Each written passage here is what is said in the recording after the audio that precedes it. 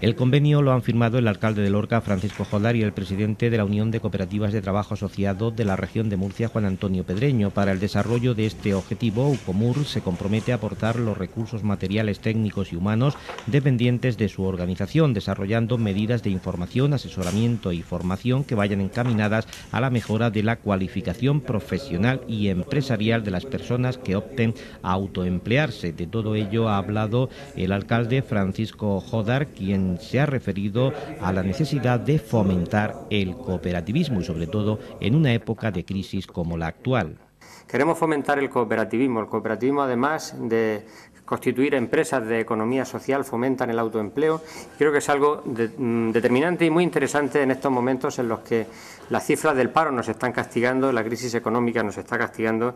Eh, promover el que la gente haga autoempleo, se reúna para ser empresarios y trabajadores al mismo tiempo, eh, formar empresas de economía social, pues eh, me parece muy interesante.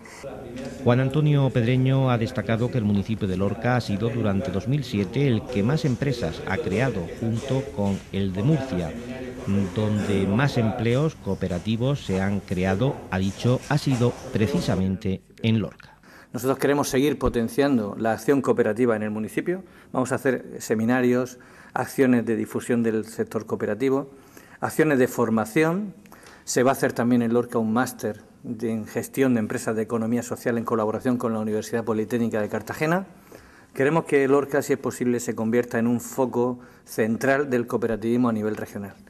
El Ayuntamiento de Lorca diseñará campañas de sensibilización para fomentar iniciativas empresariales en el municipio y pondrá a disposición de esta organización un local y lo necesario para el desarrollo de las actividades previstas.